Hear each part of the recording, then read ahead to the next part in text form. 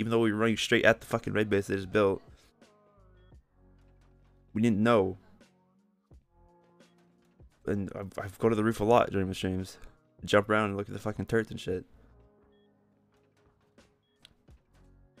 Wasn't thinking any of anything of it. Didn't have a hammer, so I went to go get in. Got in, checked, heard AK shots. Uh, guys, guys, guys. I mean, I don't know. Whoever shot the AK there in that clip is like whoever shot the AK in the background is like gave it away.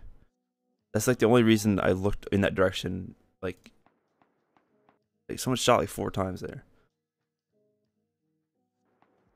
and it was not at me. Wasn't anything to do with me on the roof. Me being on the roof had nothing to do with those shots or anything.